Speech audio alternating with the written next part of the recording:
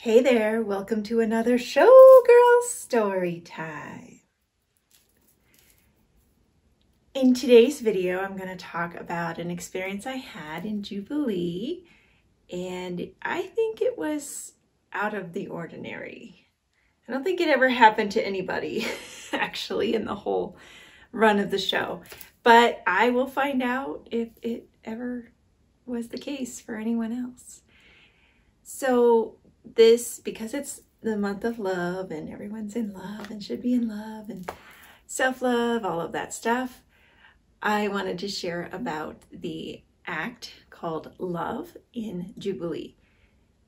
Now, Love was a little mini adagio. I say mini because it wasn't big, crazy overhead lifts, but it was a little pas de deux between a man and a woman that basically was created just to fill the space so that the dancers and the uh, the dancers could change costumes and then the crew could move the sets behind the scenes.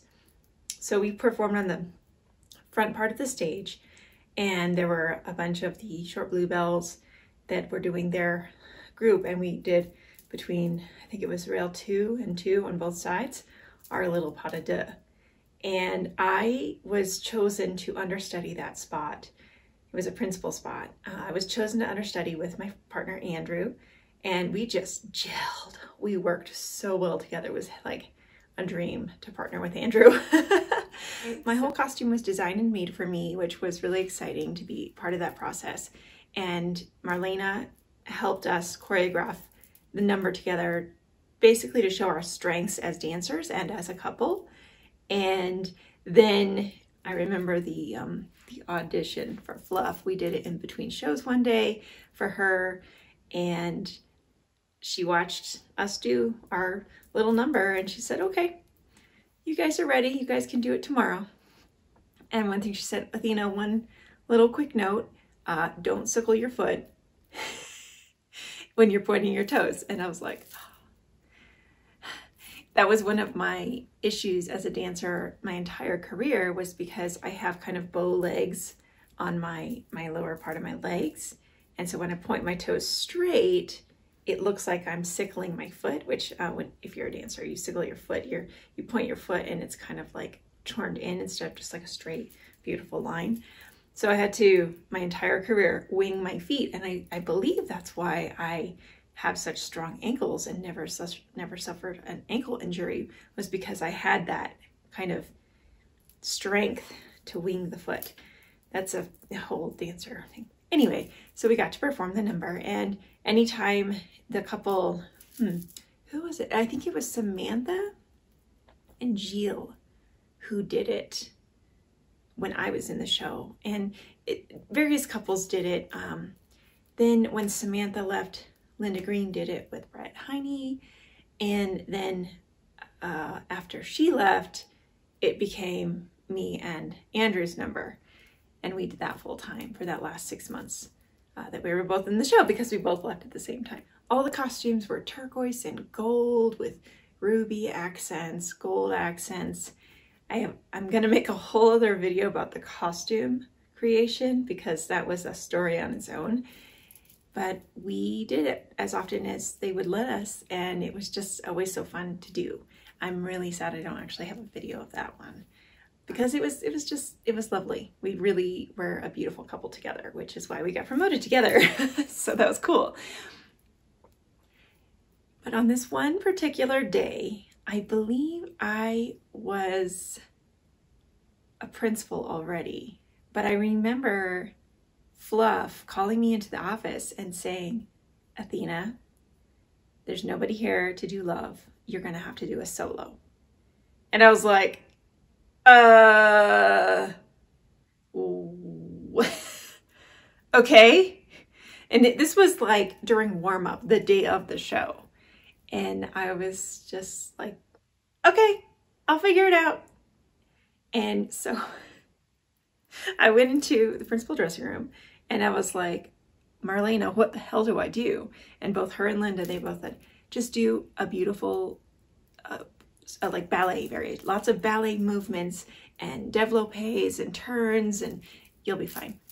And I was like, okay.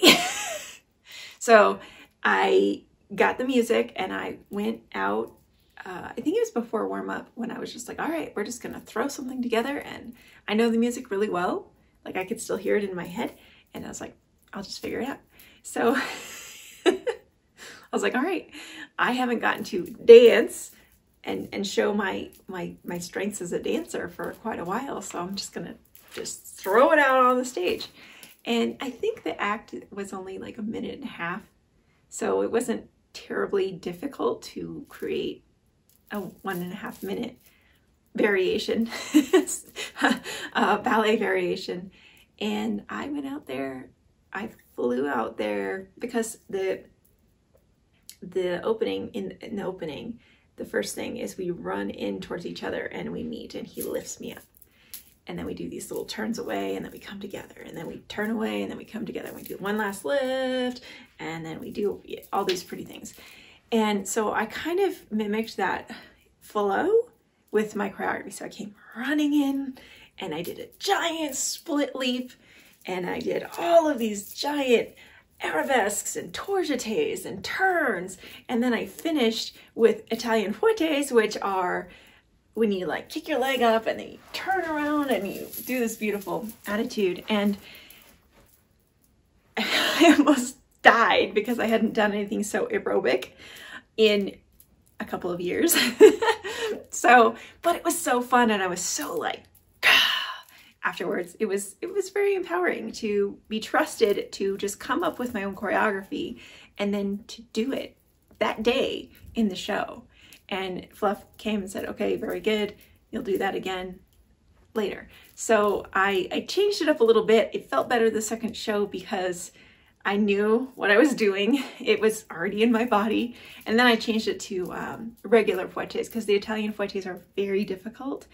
And I felt a lot of jiggle because not only was I alone, but I was also topless. I was in my costume, which had this beautiful collar with a, a cape and then a G-string. And no, there was no pasties, there's no body chain or anything. So my boobs were out and doing all of these jumps and things like boobs were flying.